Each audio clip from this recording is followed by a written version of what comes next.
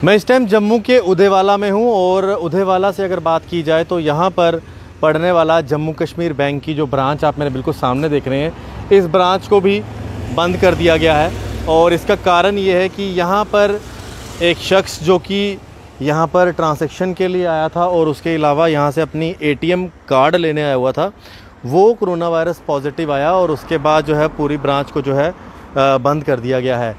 आपको मैं पहले भी बता दूँ कि इसी तरह से जम्मू कश्मीर बैंक की जम्मू के अंदर सतवारी ब्रांच को भी इसीलिए बंद किया गया था क्योंकि वहाँ पर भी एक शख्स जो कि अकाउंट होल्डर था उस ब्रांच का, वो भी अपनी ट्रांसैक्शन के लिए बैंक में आया था और उसके बाद जो है उसका कोरोना वायरस पॉजिटिव आया था और उसके बाद जो है ब्रांच बंद कर दी गई थी। इसी तरह से जम्मू कश्मीर बैंक की जो उदय वाला ब्रांच है, यहाँ पर भी एक शख्स जो कि अपना एटीएम यहाँ से लेने आता है और उसके अलावा एक ट्रांसैक्शन भी यहाँ पर करता है जिसके बाद वो शख्स जो है उसका कोरोना वायरस पॉजिटिव आता है और उसके बाद एहतियातन तौर पर और गाइडलाइंस के हिसाब से इस बैंक को जो है फ़िलहाल बंद रखा गया है।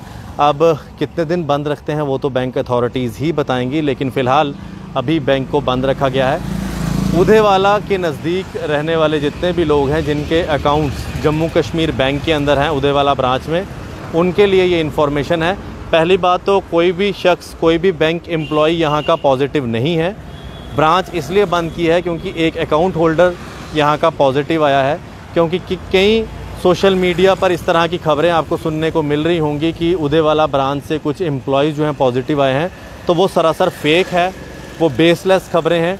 इसलिए र्यूमर्स के ऊपर आप बिल्कुल बिलीव मत करें।